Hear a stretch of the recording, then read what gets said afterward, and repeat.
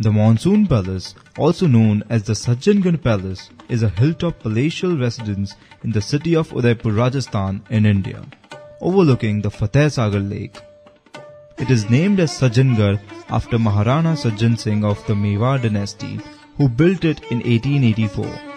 The palace offers a panoramic view of the city's lakes, palaces and surrounding countryside. It was built basically to watch the monsoon clouds. Hence, appropriately, it is popularly known as Monsoon Palace. It is said that the Maharana built it at the top of the hill to get a view of his ancestral home in Chittorgarh.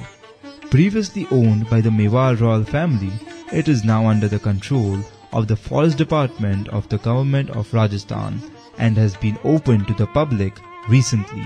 The palace provides a beautiful view of the sunset. High in the Aravalli hills, just outside Udaipur, the palace is illuminated in the evenings, giving a glow of golden orange.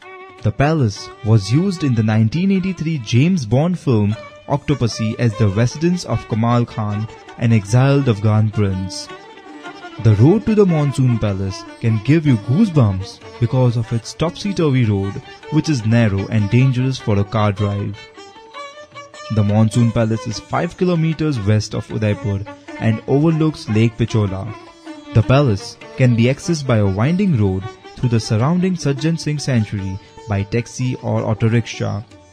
The palace and the Sajjan Singh Sanctuary are major attractions and are open to visitors until sunset.